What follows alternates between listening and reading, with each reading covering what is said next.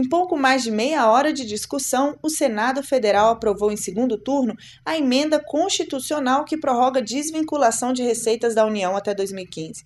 Foram 55 votos a favor, 13 contras e uma abstenção para que a base aliada garantisse a vitória mais importante do Palácio do Planalto deste ano no Congresso vários programas e projetos não existiriam ou deixariam de existir em 2012 se nós não tivéssemos a desvinculação da receita da União.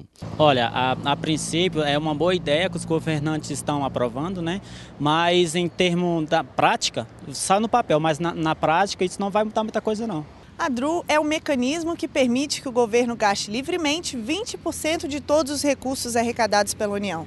Mesmo assim, essa quantia deverá constar no orçamento do próximo ano. O nosso orçamento hoje é, é totalmente engessado. É, se não tivéssemos a DRU, mais de 90% do orçamento já estaria vinculado, era uma despesa obrigatória.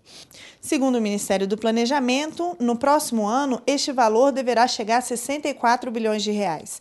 Dona Francisca sabe exatamente onde investir o dinheiro. Na educação e na saúde.